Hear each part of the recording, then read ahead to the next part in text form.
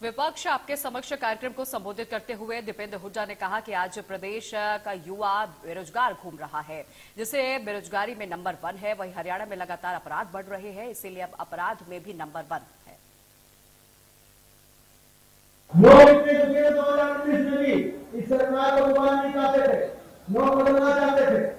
BJP ने नारा दिया, पचहत्तर पार दिया पचहत्तर पार नारा। और जेजेपी ने नारा दिया बीजेपी को करेंगे जमुना पार एक एक करता पचहत्तर पार दूसरा एक करता बीजेपी को करेंगे जमुना इलेक्शन का नतीजा कई दो लोगों के जमा हो गया क्या छह है हमारे के अंदर?